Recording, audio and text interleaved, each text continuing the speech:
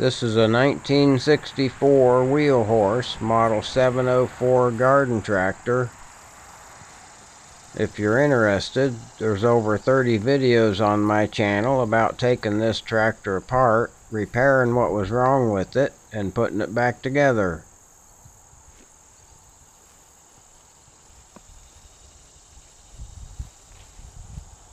There's one issue I didn't fix then, so that's what I'm going to do this time. This starter and flywheel cover are not bolted down properly, so they can move around on there when you're trying to start it. This top bolt is now a stud with a nut. That's the only one that stays tight. This lower bolt is okay, but it keeps coming loose. The other side's where the problem is. The lower bolt is stripped out, so it can't tighten up. And the upper bolt is totally missing, because the bearing plate has the ear broken off.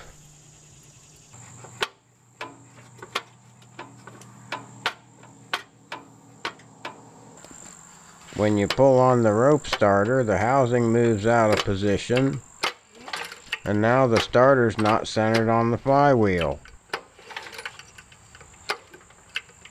It don't work too well when it can move around like that. You have to remove this steering gear and remove the steering shaft before you can take the hood off because the steering shaft goes through the hood up here. I have a nut and bolt in here instead of a roll pin because I knew I had to take it apart again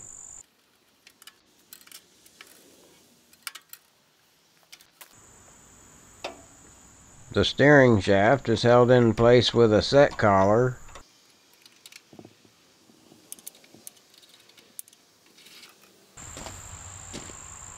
With those two parts loose, the steering shaft should come out.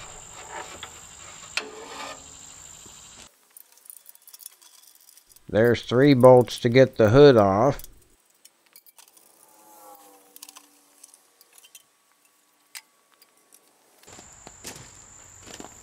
This one has the snap-on clip to hold the choke cable in place. I can't get it with my fingers. Gotta use some pliers.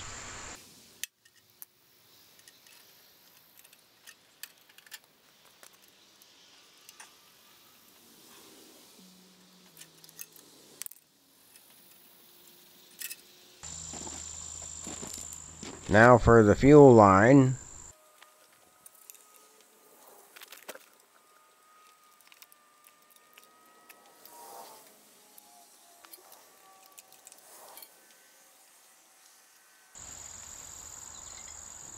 And I have to take off the belt guard to remove the belt.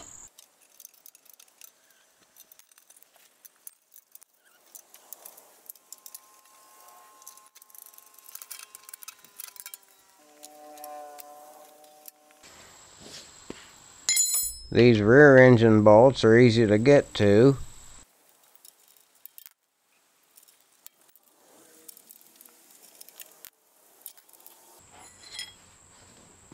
The front engine bolts are close to the front axle mount. I can't fit my socket in there, so I have to use wrenches.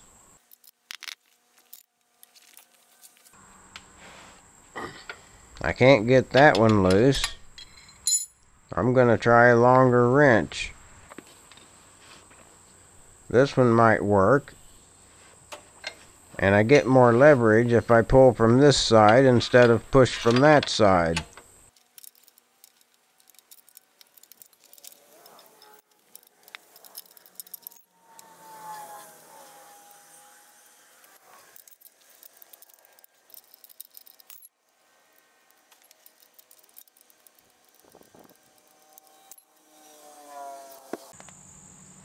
I'm going to move the engine out so I can drain the oil. I guess I have to watch out for the kill switch wire.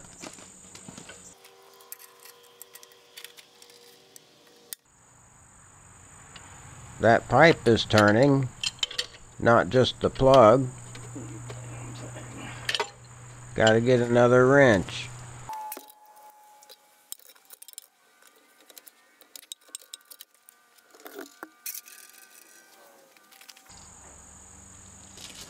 I'll let that drain for a while.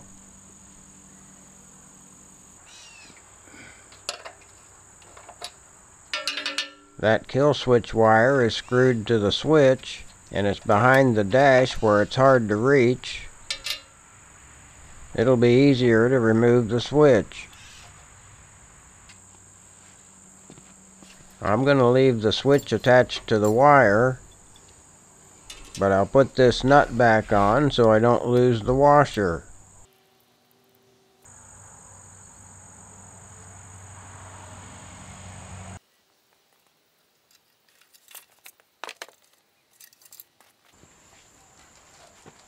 I'm only going to take apart what I need to get the job done. This cover comes off first.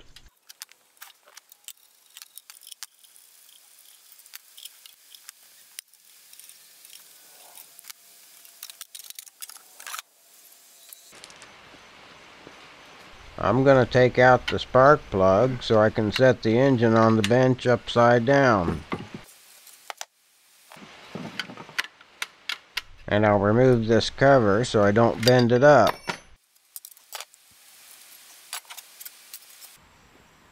Now I want to get the flywheel off.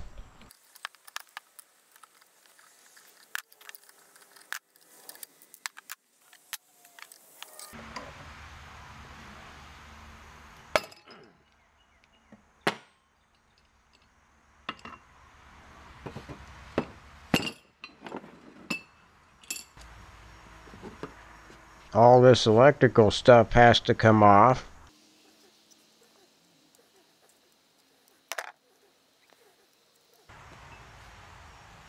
And you have to separate the wires so you can get them through this hole in the back plate one at a time.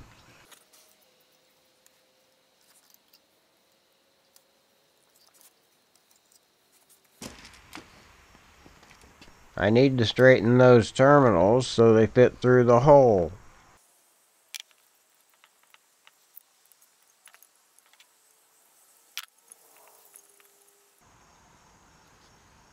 This bigger wire don't look like it's supposed to come out of the coil.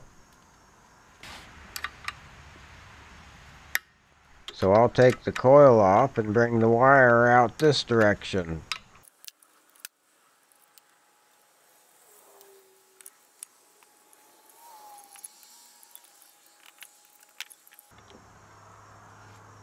Good thing that connector fits through the hole.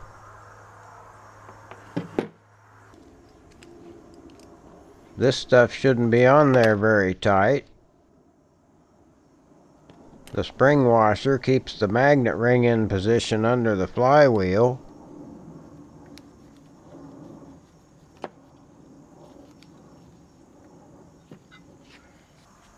That should be a slip fit, so I'm not going to pry very hard.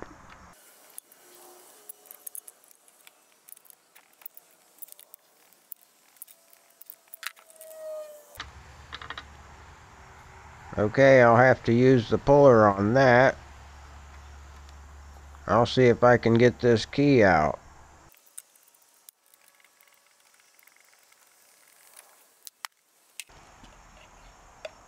This is PB Blaster penetrating fluid.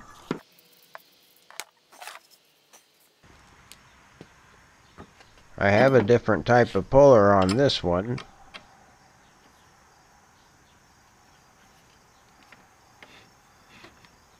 Yeah, that's coming off pretty easy.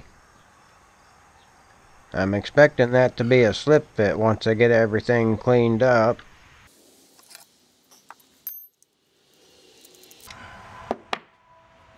Where'd that come from? Was that on the back? There's not supposed to be one behind it. I'll bet it's the same one. And it stuck to the magnet when it was on the bench. Yeah, I only see one laying around here.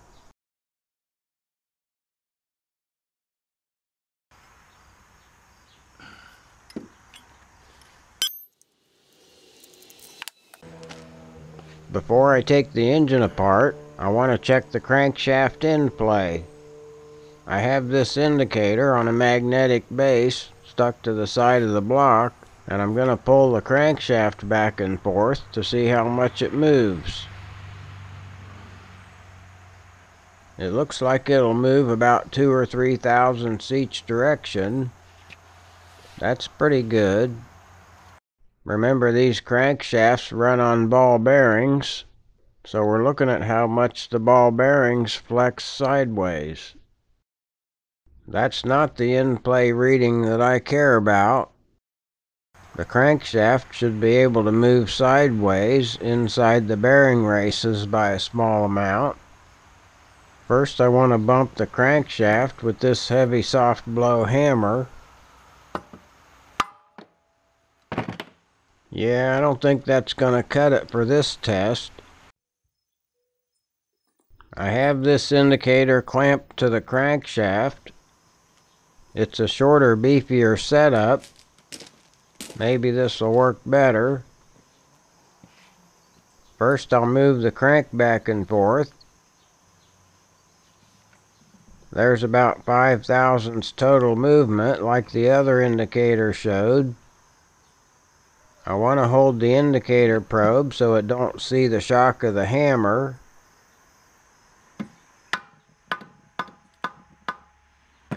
Now the crankshaft should be at one end of its available movement. I'll zero the indicator. Then I'll use this pry bar to move the crankshaft.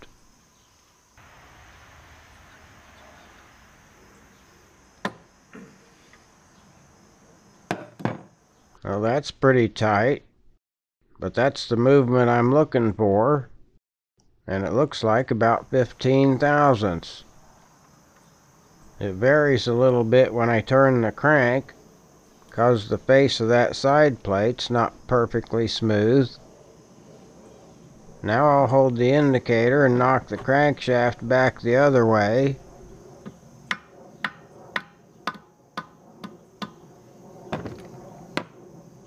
It comes back close to zero there.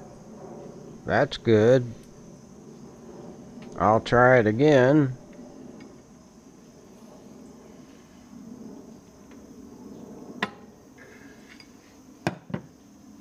Well, that's way off.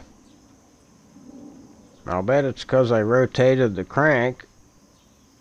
Yep, it's closer to 15 if I rotate back where it was. I'll have to watch that. I'll do it again.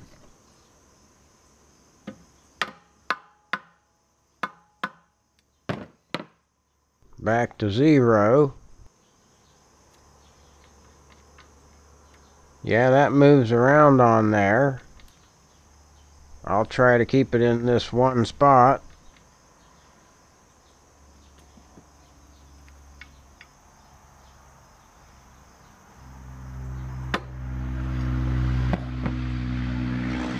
Okay, just under 15 again. I think that's a good reading. Actually, it's about 14. I'm going to take the oil pan off next.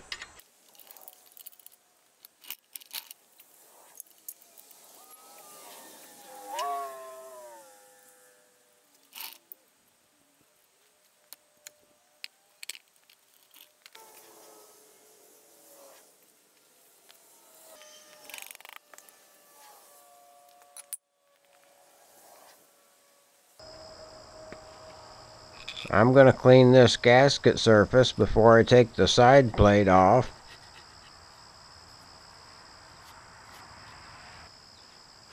I want a rag down there to catch all that stuff.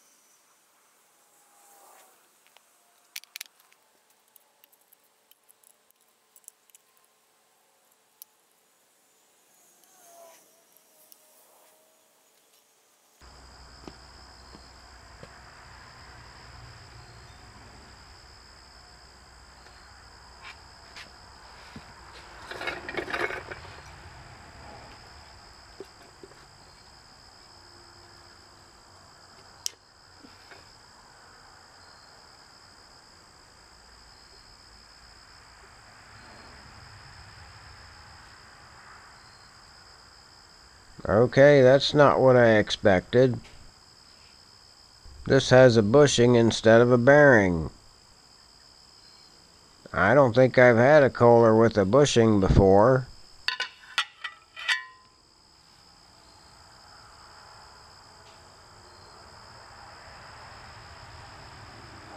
That's a roller bearing on that side.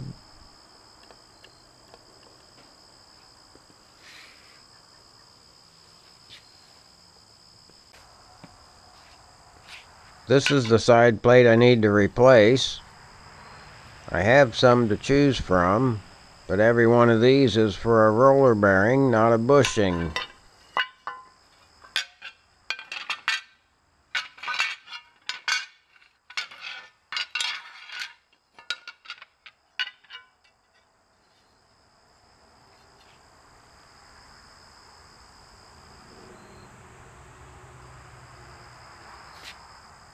All of these in this crate use roller bearings, but they're used with battery and coil type ignitions.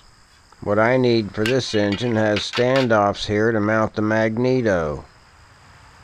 Those are all different. That's why I didn't get them out. The bottom line is, I don't have a side plate that I can use with this engine.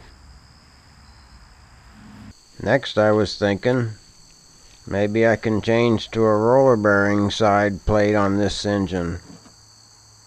Well, here's a standard 7 horsepower crankshaft that's used with roller bearings. I'm going to compare it to this crankshaft.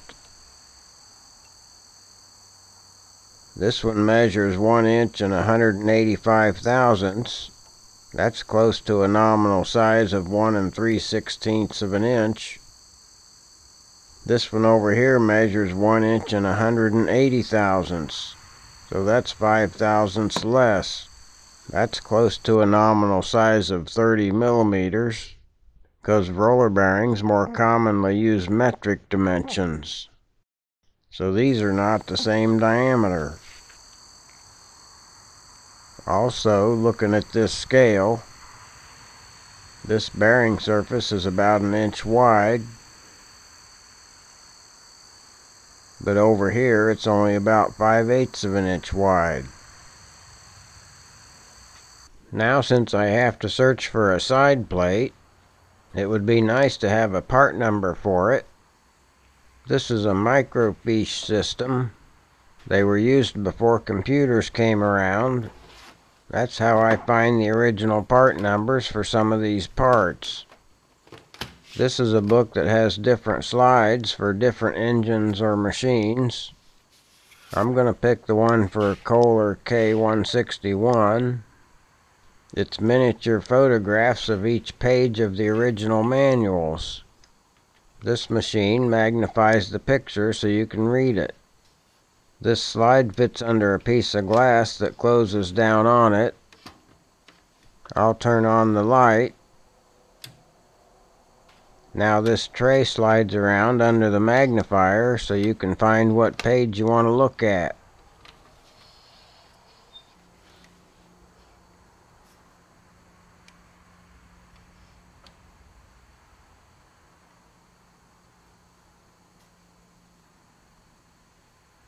Kohler does everything by the spec number. It's on the tag next to the serial number Luckily, this engine still has the tag with the spec number on it. So I'm going to find my spec number on the left side of this list. Then I have to go to the top to find the group. I need group 7, the crankcase. Then I come down the column to get to the row with my spec number. And it says number 92. That's the variation number. Up at the top here it says that group 7 is at grid position C13. So down here I'm going to slide this pointer to the box that says row C, column 13. That should get me to group 7. Now you can see the exploded view of the engine there with the letters pointing to each part. The part that I want is that side plate its letter is H.